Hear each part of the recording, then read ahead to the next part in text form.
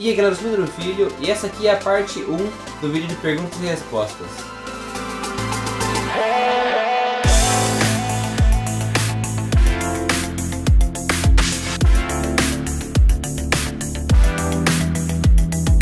Então, atendendo pedidos, hoje eu vou fazer um vídeo de perguntas e respostas. A parte 2 vai sair na quinta-feira. Se eu não responder sua pergunta nesse vídeo aqui, fique tranquilo, porque eu posso responder sua pergunta numa live, no Discord, no Instagram, enfim, tem vários jeitos que eu posso responder. Mas se você quer que eu em um vídeo, como esse aqui, em um próximo vídeo eu posso responder sua pergunta. E mais uma coisa, se você não conseguiu aparecer nesse vídeo, mas quer aparecer no quinta-feira, não adianta comentar nesse vídeo, porque eu já estou gravando tudo junto, então não tem como. E mais uma coisa antes de começar, se você ainda não está inscrito aqui no canal, se inscreva e ative o sininho. Porque assim, toda vez que eu postar um vídeo você vai ser notificado e não vai perder nada aqui do canal. Então vamos começar, foram 50 perguntas, na verdade foram mais ou menos umas 40, só que depois eu fui no chat da live e peguei mais algumas que eu não consegui responder na live. Então, foram 50 perguntas. Hoje eu vou responder 25 perguntas e na quinta-feira mais 25. Então vamos começar, vou deixar as perguntas aqui atrás, então você já pode meio que antecipar a próxima pergunta. E a primeira é, você está pensando em fazer um unboxing do GAN 11M Pro? Bom, para fazer o unboxing primeiro eu tenho que ter o cubo aqui em casa, então não tem muito como eu fazer um unboxing de um cubo que eu não tenho. Mas se alguém quiser mandar um GAN 11M Pro aqui para casa, eu aceito. Próxima pergunta, Moyu ou Ki?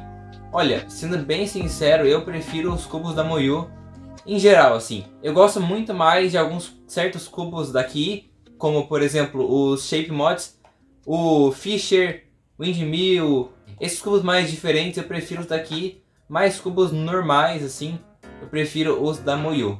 Mas também é importante lembrar que os cubos X-Men são daqui, então o Skilby Wing, o Galaxy V2 que é o Megamix, o X-Men Bell que é o Pyramix e o Square que eu não lembro o nome, acho que é Volt.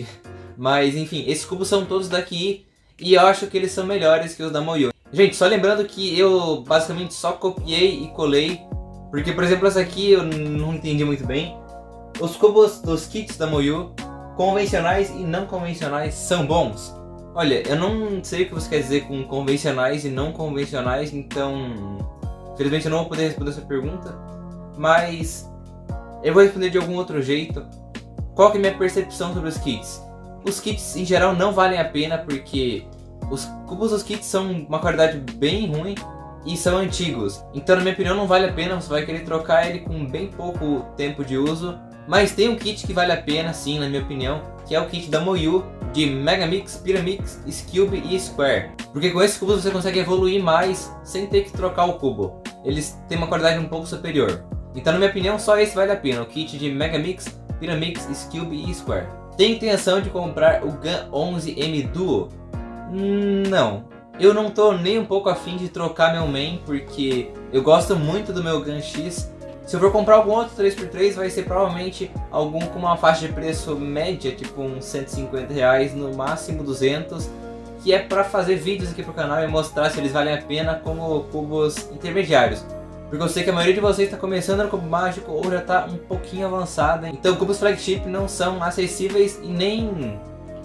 Como é que eu diria? Nem necessários para a maioria de vocês. Então por isso que eu não tenho intenção de comprar o GAN 11M Duo. Qual é o melhor budget? Que IMS ou RS3M? Na minha opinião, RS3M, mas não porque ele é melhor, mas sim porque eu prefiro ele. Eu prefiro ele porque os pontos fortes dele me agradam mais do que os pontos fortes do QMS. E também eu não me importo tanto com os pontos fracos dele, quanto eu me importo com os do QMS. Por exemplo, eu não gosto nem um pouco de cubos barulhentos e o QMS é muito barulhento. E também eu gosto bastante de ajuste nos cubos, eu gosto de deixar o cubo bem personalizado. E o QMS só tem um parafuso, enquanto o RS3M tem já um sistema mais avançado de molas. Qual o melhor cubo para quem está começando e não quer gastar muito? Olha, eu não sei quanto que é o seu gastar muito, porque gastar muito para cada pessoa é diferente, então é muito relativo isso. Mas se você quer um cubo bem barato e que vai durar um bom tempo com você, eu acho que o Meilong é a melhor opção, porque é um cubo é um cubo bem decente e vai durar bastante tempo com você e também não custa os olhos da cara, é bem baratinho mesmo. Próxima pergunta, quando pretende aprender o BLD? Eu pretendo aprender em breve porque também eu já sei boa parte do BLD, eu só esqueci algumas coisas, então vai ser bem fácil para aprender. Mas ultimamente eu tô com a rotina bem corrida, tá bem difícil para manter os vídeos, mas isso vai melhorar porque daqui a pouco eu vou ficar de férias, vou poder me dedicar mais ao canal e eu pretendo fazer tutorial de várias coisas avançadas, então fiquem espertos aí que em breve teremos tutoriais mais avançados aqui no canal. Prefere Valk ou MGC? Depende do Valk, depende da MGC, porque Valk é uma linha de cubos assim como MGC, então tem vários cubos. E também se pode estar falando de 2x2, 3x3, 4x4, todos tem da Valk e tem da MGC. Mas se for pegar o mais top de cada um, eu acho que é o Valk Elite e o MGC Elite também, alguma coisa assim. Eu prefiro o Valk porque ele tem mais ajustes e eu, eu acho melhor. Mas também é gosto e eu nunca testei nenhum dos dois, então não tenho como eu afirmar muita coisa aqui. Quantos anos você tem? Eu tenho 16. Quando vai mostrar seu rosto? Bom, acho que você não assiste o canal faz muito tempo, porque já mostrei meu rosto várias vezes aqui em vários vídeos. Essa pergunta aqui é meio difícil. Quando vai fazer live em call com participantes do server? Esse server é o servidor do canal no Discord e eu vou deixar aqui na descrição para quem quiser entrar, é bem legal. Pode conversar com outros inscritos aqui do canal, bater um papo. E no Discord você pode fazer chamadas, então eu posso me comunicar por voz com os inscritos. Então quem fez essa pergunta que queria saber quando que eu vou fazer lives conversando com os inscritos. E assim, não queria deixar você triste nem nada, mas é, é basicamente impossível fazer isso, porque não tem como eu controlar, eu precisaria de mais gente para controlar e também não teria como eu confiar que vai estar tudo certo e eu posso ter alguns problemas com relação a isso. Eu sei que provavelmente você não quer fazer nada, só queria aparecer numa live aqui do canal, mas tem outras pessoas que podem atrapalhar e fazer coisas erradas. Então por esse e muitos outros motivos que eu não faço isso. Mas eu pretendo em breve trazer convidados aqui pro canal para fazer live comigo, então fazer live com outros cubistas. Qual foi o cubo mágico que você mais gostou? Olha, essa pergunta é difícil, mas eu acho que o Gun porque eu saí do MF3RS, que é um cubo bem básico e já antigo, para um GAN X, que é um flagship e, enfim, é muito bom esse cubo. Não tem nem comparação com o MF3RS. Como você começou a gostar de cubo mágico? Eu já contei essa história aqui no canal, e só um aviso que eu esqueci de falar no começo do vídeo, vou falar agora. Mas essas perguntas podem já ter aparecido aqui no canal, já posso ter respondido em live. E também no outro vídeo de perguntas e respostas, se você não viu ele, eu vou deixar aqui nos cards. Mas eu resolvi colocar essas perguntas repetidas porque tem muita gente nova no canal que não viu aquele vídeo de perguntas e respostas antigo. Então por isso que tem perguntas repetidas. Mas basicamente eu fui na casa do meu tio e lá tinha um cubo mágico e ele me desafiou a resolver um lado do cubo. Eu consegui e quando eu cheguei em casa, na casa do meu primo, porque eu tava viajando, eu peguei um cubo mágico que tinha lá na casa dele e fui aprender a resolver. Aprendi no tutorial na internet, que por sinal era muito ruim. Depois eu tive que assistir outros tutoriais para melhorar. Qual cubo você mais demorou para resolver? Olha, se for... É que essa pergunta pode ter dois significados.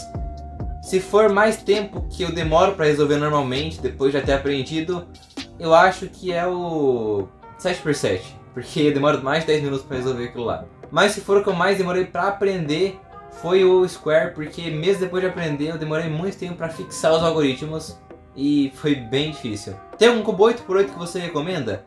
Olha, eu não entendo de 8x8, eu nunca fiquei pesquisando sobre 8x8, mas tem poucas marcas e não tem muito o que escolher. Mas eu acho que o Daioshin é um bom 8x8. Quanto tempo você demorou para aprender todo o CFOP? Se for contar o tempo que eu me dediquei para aprender, o tempo que eu de fato fiquei aprendendo, eu acho que demorou mais ou menos uns 5 meses, 6 meses. Porque teve um, um tempo muito grande entre eu começar e eu terminar. Mas assim, se for contar só o período que eu aprendi e juntar, acho que foi bem menos. Então vou colocar uma estimativa aqui de uns 6 meses. Qual método que dá para resolver em 1 ou 3 segundos o cubo mágico? Nenhum. Não existe um método mágico que faz você resolver super rápido. É claro que se você resolver com o método básico, você não vai conseguir fazer em um e nem se você usar o método mais avançado que existe. Já foram feitos sim tempos abaixo de 3 segundos, mas com método e vários submétodos envolvidos. Já fiz um vídeo sobre o submétodo, vou deixar aqui nos cards. E basicamente são alguns métodos, só que dentro de um outro método. Não sei se dá pra entender, mas são métodos que só se aplicam a uma etapa ou duas etapas do cubo mágico. E além disso, tem que treinar muito, muito e muito. E hoje pouquíssimas pessoas conseguiram resolver o cubo em menos de 3 segundos. Então imagina em um segundo. Tem algum hobby além de cubo mágico? Olha, eu gosto bastante de andar de bicicleta, mas bastante mesmo. E basicamente só isso. Qual o seu cubo favorito de acordo com custo-benefício e preço? Eu fico bem em dúvida porque muita gente relaciona custo-benefício com barato. E como eu falei, os kits são muito baratos para a quantidade de cubos que vem nele, mas eu não acho que tem um custo-benefício bom. Então eu fico muito em dúvida entre o Meilong e o RS3M 2020, porque tanto um quanto o outro valem muito o preço que eles custam e eu fico muito em dúvida mesmo, mas são esses dois aí que eu acho que valem mais a pena pelo preço. Você queria ter todos os cubos do mundo?